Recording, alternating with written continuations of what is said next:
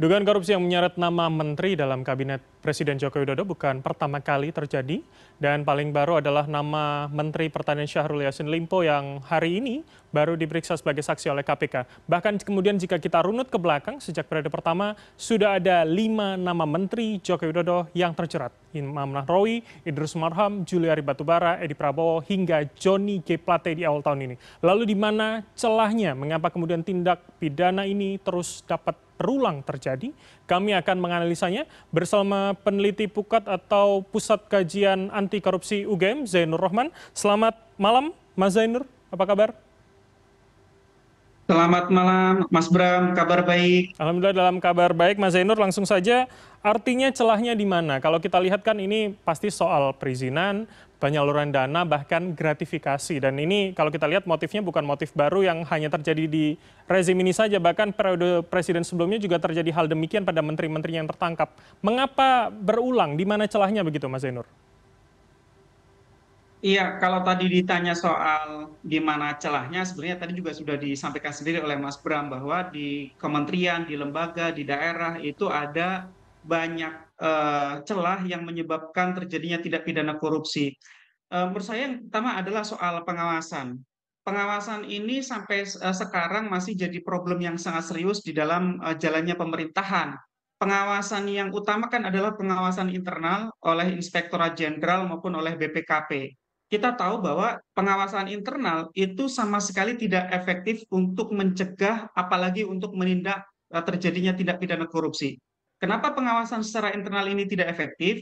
Karena seorang irjen posisinya berada di bawah menteri atau kepala lembaga atau kepala daerah. Okay. Sehingga ada rasa enggan, rasa tabu, tidak berani untuk melakukan koreksi terhadap kesalahan-kesalahan yang dilakukan oleh atasan mereka. Jadi kalau misalnya sebenarnya Inspektorat Jenderal tahu ada satu penyelewengan, penyimpangan, bahkan menjurus pada tindak pidana korupsi yang dilakukan oleh menteri, itu tidak mungkin dapat melakukan korupsi, uh, koreksi secara efektif. Kalau melakukan koreksi pun bisa dilakukan pemberhentian atau dimutasi, kemudian uh, akan diisi oleh orang kepercayaan dari menteri.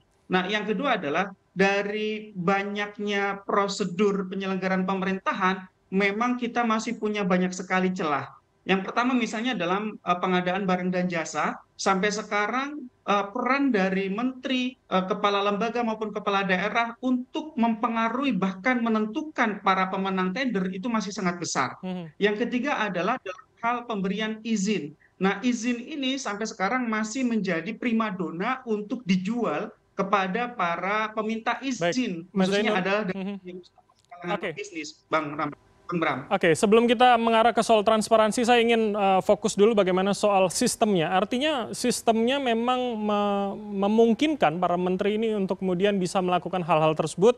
Artinya seberapa perlu soal pengawasan tadi kita membuat lebih holistik lagi, tidak hanya dari internal mereka begitu? Ya, menurut saya salah satu yang perlu kita pikirkan adalah bagaimana bisa membuat Inspektorat Jenderal itu punya independensi di dalam. Mhm. Kenapa? Karena selama Inspektorat Jenderal ini mudah untuk diintervensi dan ditaklukkan oleh menteri, kepala lembaga atau kepala daerah, selama itu pula, selama itu pula pengawasan oleh Inspektorat Jenderal tidak akan pernah efektif kita tidak ingin membuat Inspektorat Jenderal ini hanya sebagai stempel, tetapi juga tidak ingin membuat Inspektorat Jenderal sebagai pengawas eksternal. Hmm. Pengawas eksternal sudah ada BPK. Nah, kita ingin agar Inspektorat Jenderal tetap menjadi pengawas internal, tetapi diberikan derajat independensi. Misalnya apa? Dalam hal rekrutmen ya untuk memutuskan inspektorat jenderal ini uh, sebagai pejabat yang terpilih maupun juga pemberhentiannya misalnya itu bukan dilakukan oleh menterinya tetapi misalnya uh, dilakukan secara langsung oleh presiden atau badan lain seperti BPKP. Oke, okay, Tujuannya ada apa? Hmm. Tujuan menteri uh, tidak bisa mempengaruhi Mas Bram ada sistem di luar kewenangan menteri begitu ya, yang kemudian harus diperkuat agar kemudian bisa uh, mengawasi dengan baik. Nah, soal transparansi, bagaimana kemudian hari ini uh, ketika semua latah digitalisasi, semua seakan-akan terlihat ini juga masih bisa dilakukan. Apalagi tadi Anda mengatakan soal pengadaan, soal perizinan ini kan menjadi lahan yang uh, rasanya dari waktu-waktu waktu ke waktu selalu ada begitu uh, tindak pidana yang terjadi di ranah itu. Ya, digitalisasi itu sebenarnya kan peluang ya peluang bagi negara untuk membuka seluas luasnya kepada masyarakat mengenai bagaimana negara itu dijalankan dalam proses pemerintahan. Tetapi pada kenyataannya digitalisasi ini juga masih sangat terbatas ya. Yang dibuka melalui sarana digital itu adalah hal hal yang sudah jelas itu terbuka. Tetapi proses proses penentuan kebijakan publik yang terkait dengan perizinan alokasi kuota impor ekspor atau juga terkait dengan pengadaan barang dan jasa itu masih berada di dalam kamar gelap bang bram di mana di dalamnya itu terjadi transaksi transaksi jual beli begitu ya antara seorang pejabat negara dengan dunia bisnis kemudian sebagai imbalannya para penyelenggara ini mendapatkan sejumlah gratifikasi kemudian akhirnya proses pemerintahan tersebut tidak dapat berjalan sebagaimana mestinya. Kita tahu kemudian barang dan jasa yang dihasilkan kemahalan dengan kualitas rendah perizinannya juga tanpa syarat yang dipenuhi juga bisa lolos kuota impor ekspor diberikan kepada mereka mereka yang sudah menjadi kroni atau selama ini memberikan servis kepada para pejabat kita bang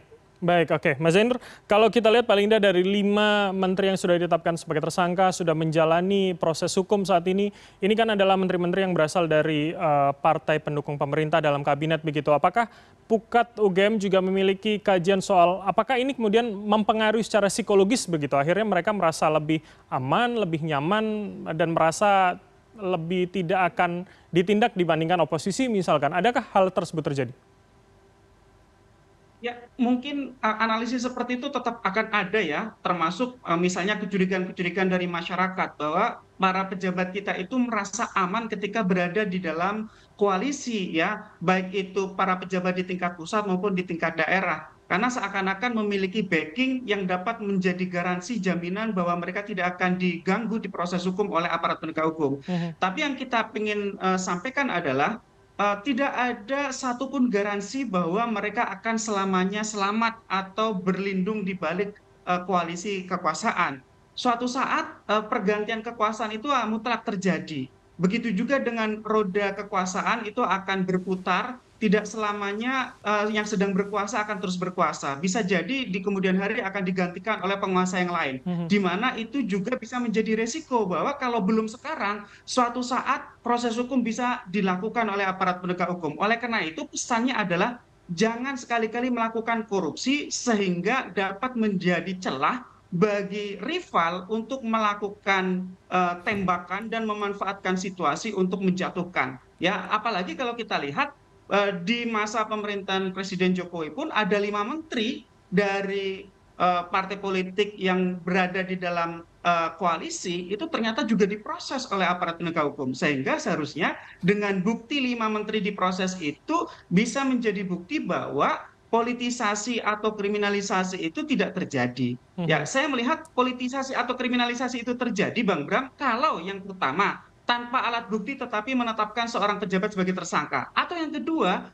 kalau ada menteri atau pejabat lain yang berasal dari partai koalisi tetapi tidak disentuh oleh aparat penegak hukum maka di situ terjadi kriminalisasi atau politisasi. Selama ya ada alat bukti dan kemudian penegak hukum memproses. Yang kedua partai koalisi pun juga disentuh oleh aparat penegak hukum. Artinya ya tidak ada soal apakah itu pendukung atau itu oposisi. Nah tetapi ya memang kita selama ini menduga gitu ya masyarakat masih ada yang menduga bahwa koalisi itu menjadi salah satu faktor yang meningkatkan rasa percaya diri dari pejabat untuk melakukan korupsi. Ternyata dugaan dugaan seperti itu juga tidak sepenuhnya benar bang bram. Oke oke baik baik. Oke terakhir mas zainur saya ingin masuk ke dalam kasus yang saat ini sedang dialami oleh sel meski tadi sudah dipanggil sebagai saksi. Bagaimana anda melihatnya? Apakah ini akan bisa lebih dalam lagi atau nanti kita akan melihat kpk akan fokus pada aktor aktor lainnya?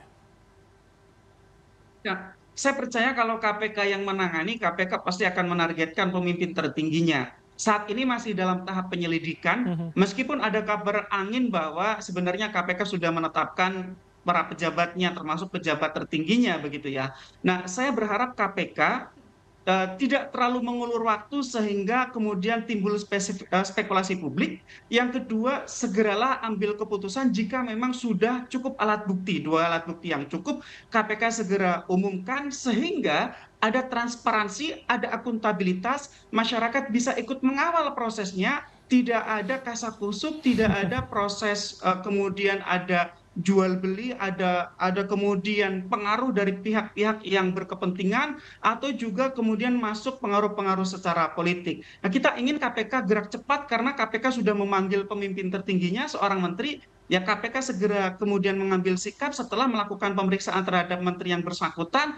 Kalau sudah jelas semua alat buktinya segeralah ambil status apakah itu ternyata adalah status ke tingkat penyidikan dan ditetapkan tersangka termasuk menterinya ataukah ketika KPK menganggap bahwa kesimpulan dari penyidikan itu menterinya tidak terkait ya mhm. sudah KPK tetapkan pihak-pihak lain yang melakukan tindak pidana korupsi. Nah, masyarakat sekarang menuntut KPK untuk dapat transparan, akuntabel dan menghindari segala macam bentuk kesempatan untuk adanya pengaruh dari kekuatan-kekuatan politik dari pihak mana pun. Baik, Mas Zainur. Masuk dari pihak yang sedang diperiksa oleh KPK ini, Bang Bram. Oke, artinya tidak terlalu lama kita juga menuntut adanya transparansi di KPK agar ini kemudian tidak ditarik-menarik dalam komunitas politik begitu ya.